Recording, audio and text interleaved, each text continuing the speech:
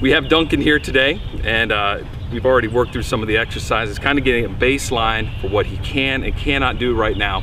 What I'm seeing is a very high level of energy. If there's any back pressure applied to the leash, he wants to pull immediately, which is not surprising for the breed or the age of this dog. Um, he does have a sit, sit, which isn't bad. He actually has somewhat of a sit stay, which is actually kind of surprising considering how much motivation he has to run around. However, his downstay is non-existent um, and his heeling is non-existent. The climb command, he's Climb. actually kind of avoiding this entire base right now, hopping over it, trying not to get on climb. top of it. But I think what we're gonna see in about two weeks time is a dog who's all doing this marvelously.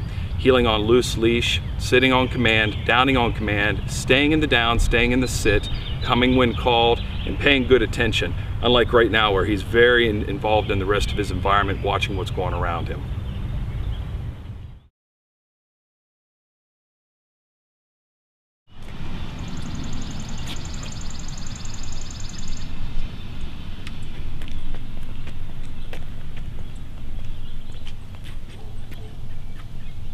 All right, so I'm going to release him here in a second.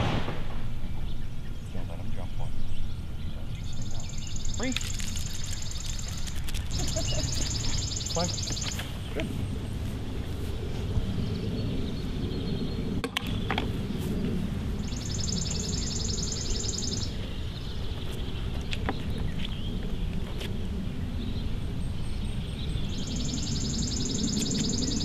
Don't get free. Good boy. Fantastic.